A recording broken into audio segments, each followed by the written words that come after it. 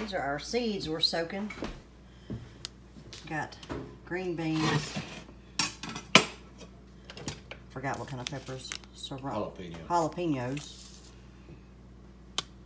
Zucchini.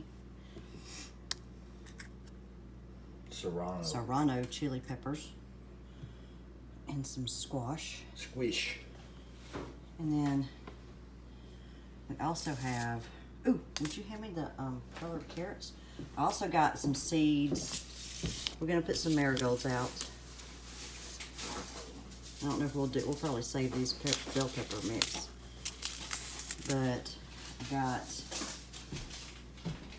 some really cool seeds today. The rainbow carrot.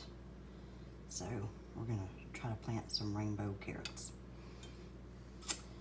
Those are the seeds we have going. I bought a little seed starter kit to put them in.